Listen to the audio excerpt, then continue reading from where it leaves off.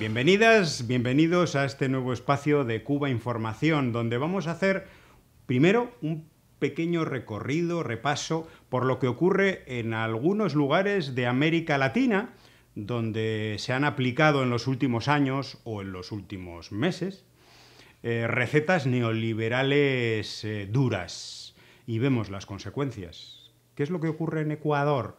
Donde veíamos hace nada, dos días, cómo en, una, en un canal de televisión entraban, eh, vamos a decir, parte de, esta mafia de delincuencia organizada vinculada con el narcotráfico, eh, apuntaban con, un cañón, con armas largas al presentador. No solamente eso, tenemos varias, varios mensajes en la red X que realmente, bueno, asombran, ¿no? Eh, Ale Loucau nos dice, denuncian que grupos armados ingresaron en la Universidad de Guayaquil e intentan secuestrar a personas. Y el Ministerio de Educación implementa las clases virtuales debido a la ola de violencia, no solamente en algunas escuelas eh, de los lugares cercanos a las cárceles, donde han ocurrido los motines, asesinatos, mucha gente eh, muerta, tanto de funcionarios como de presos, eh, sino también en otros lugares eh, de Ecuador. ¿Y cuál es la conclusión que se saca de todo esto? Bueno, algunos culpan directamente a, la dolarización, a que se ha dado manga ancha o que se ha dejado actuar al narcotráfico, es decir, mano dura. Lo que necesita ahora el país es mano dura y se resuelve. Pero yo creo que detrás de todo eso hay que hacer una reflexión un poquito más profunda, ¿no les parece? Elena Villar, esta gran corresponsal de Russia Today en Washington. Ecuador era el segundo país más seguro de América Latina con el presidente Rafael Correa. Ay, algunos. algunos les entra la nostalgia. Hoy es uno de los más inseguros de todo el mundo. ¿Qué pasó? El viraje a las políticas neoliberales de gobiernos doblegados a Estados Unidos. ¿Quieren un ejemplo de fracaso de la libertad? Pues ahí lo tienen. Lázaro, bienvenido. Sí, un saludo como siempre cariñoso a todas las amigas y amigos que, nos ven y que, bueno, eh, están atentos a lo que nosotros analizamos, lo que exponemos. Y aquí eh, eh, tenemos un ejemplo más, si hiciera falta, de lo que son las políticas neoliberales del capitalismo en la región, sometido o subordinado siempre a el Departamento de Estado y la Casa Blanca. Es una realidad y entonces cuando hablan de democracia, cuando hablan de libertad y cuando intoxican a la opinión pública y, a través de las matrices de opinión que eh, sostenidamente divulgan, ¿para qué? Para mantener su estatus su estatus, para mantener su dominación desde, el Departamento de Estado y todas las agencias de inteligencia de los Estados Unidos sobre eh, eh, América Latina y el Caribe, hay que decir en, la, en, general, porque es algo habitual. Esto que ocurre en, en, menor o mayor grado es habitual en los países de América Latina. Ahí está la injerencia de Estados Unidos. Cuando usted tira del hilo, ve quién está detrás de todo esto. Está Estados Unidos. ¿Quién se beneficia de todo esto? Estados Unidos. Y desde luego, eh, ese es el modelo, ese es el modelo que dicen que es el modelo democrático, eh, de libertades, pero libertades para quién? Para, digo, modelo para Cuba, es el que proponen para Cuba. Sí, el modelo efectivamente que proponen para Cuba, pero libertades para quién. Entonces ahí tenemos un ejemplo tenemos un ejemplo de por qué la mayoría del pueblo, la inmensa mayoría del pueblo cubano, lucha día a día por defender las conquistas sociales que trajo la revolución al país. Porque Cuba, antes del 1 de enero de 59, era uno más en América Latina y el Caribe, uno más golpe de Estado, represión, criminalidad, marginación, eh, pobreza, extrema, analfabetismo. Eso era Cuba. Entonces, cuando de los, desde no solo de Estados Unidos, sino de los peores serviles a los intereses de Estados Unidos, esos odiadores, toda esa, toda esa partida de, alimañas que tratan de, de eh, doblegar, doblegar la voluntad colectiva de un pueblo revolucionario, pues se estrellan una y otra vez con la realidad. La realidad es que América Latina tiene ese mal. ¿Cuál es el mal? Estados Unidos. Y es un mal a nivel global, pero vamos a centrarnos en América Latina y el Caribe. El mal, Estados Unidos y las políticas que en no pocos casos obliga a Estados Unidos a eh, establecer en, los países eh, de la región. Entonces, aquí eh, vamos a ver cómo termina esto, cómo termina toda esta, y sobre todo el papel de los medios de manipulación y desinformación masiva en casos como esto. Ya pasó, bueno, todavía no hay lo de Perú, por ejemplo. Es que si usted analiza todo, eh, casi... Represión, eso, es lo que se nos ha olvidado decir antes, una intensa Represión. Represión eh, y además... Perú con más de 60 muertos. 60 muertos, manifestantes y, 60 muertos provocados ¿por qué? Por la, fuerza represiva de Perú. Hmm. El ejército, la policía, en fin.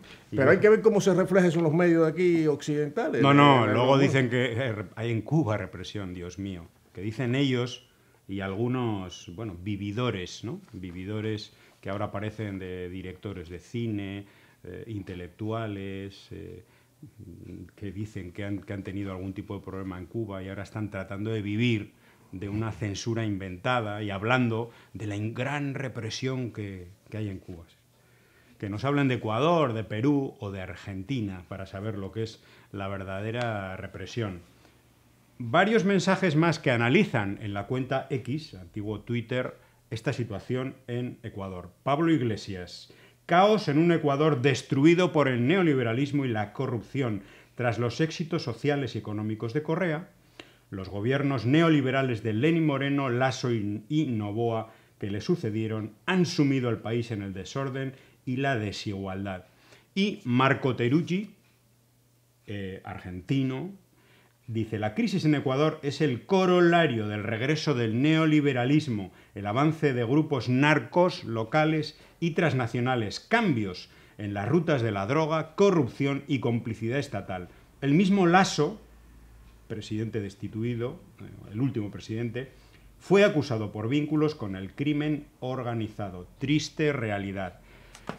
Y bueno, mm, desgraciadamente, tras una época realmente floreciente en Ecuador, en la que, por ejemplo, hubo, un, eh, hubo una, una emigración hacia atrás, es decir, hubo miles de personas, ecuatorianos, ecuatorianas, migrantes, que vinieron a Europa tras las crisis anteriores, en la época de Correa, hubo una oleada de, de regreso de muchísima gente a su país porque vieron oportunidades económicas, de avance social, de programas sociales en su país, sobre todo en la educación, que avanzó muchísimo en, la parte universitaria, por ejemplo, vieron oportunidades, nosotros incluso tenemos en el equipo de Cuba Información a personas eh, que, bueno, nuestro gran amigo Víctor, bueno, que está, que está allí, que regresó a Ecuador. Y sin embargo vemos ahora un país absolutamente destruido. ¿Y destruido por quién? Por un traidor llamado Lenin Moreno, que llegó al gobierno con los votos del éxito de Rafael Correa, también un grave error, indudablemente, de Rafael Correa y de su equipo al nombrarle como candidato. Error de todos, porque desde aquí también tuvimos nuestra, nuestra parte de apoyo ¿no? en su momento cuando fueron las elecciones, y que dentro del gobierno hizo un viraje absoluto hacia la derecha, fue la persona que entregó a Julian Assange, ese preso político, periodista, al que le han violado todos sus derechos, torturado, que lleva años encarcelado por Estados Unidos, por Reino Unido y por Estados Unidos. Y ese traidor es el culpable de todo lo que, de todo lo que pasa ahora. ahí, ahí comenzó a gestarse la tragedia. Es, realmente muy triste, un país eh, con recursos, con posibilidades de desarrollo, eh, pero está bueno, atrapado también. Hay que ver el, papel y el peso que juega las mafias, ¿no? Las mafias. Y ya el hecho que este expresidente eh, lo hayan acusado, esté, esté acusado de, vínculo con el narcotráfico, pues ya podemos imaginar el escenario político, económico, social que, que impera en el Ecuador.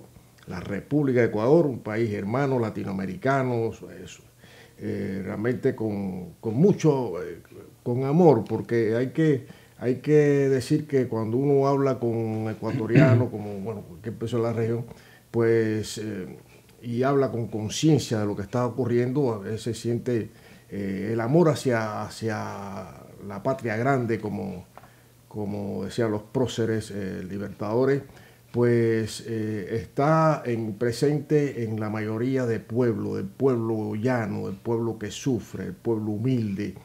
Y eh, estas cosas pues nos hmm. alertan de que no podemos descuidarnos. O sea, los, eh, las personas de, que, piensan que es posible, que un mundo mejor es posible, pues no podemos descuidarnos. El caso de Cuba, hmm. el pueblo de Cuba no puede descuidarse ante esta avalancha de, bueno, de hechos, porque ha sido encadenado. Hay que ver, eh, bueno, si hacemos un poquito de historia, lo que sucedió en Chile eh, antes de, asumir la presidencia Boris, el actual presidente, eh, en Perú, Ecuador, también en Centroamérica. En fin, hay, hay una, una ebullición de, de hechos que tienen que ver también con, digamos decir así, la pataleta del imperialismo norteamericano, eh, que está bueno, en sus horas bajas, aunque no lo parezca, aunque, eh, y entonces el, todo, todo este movimiento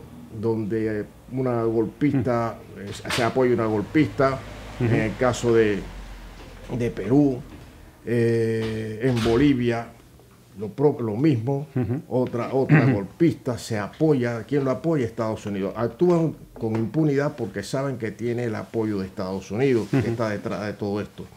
Entonces, eh, pueblo de Cuba hay que decir que alerta, alerta y no se dejen confundir ni engañar nadie, porque eh, el imperialismo en su, en su frenesí por eh, retomar su papel, su dominio hegemónico, pues eh, está detrás de todo lo que suceda y, y, vemos que lo que sucede no es beneficioso para los pueblos, no enaltece o, no, no mejora la vida de los pueblos, todo lo contrario.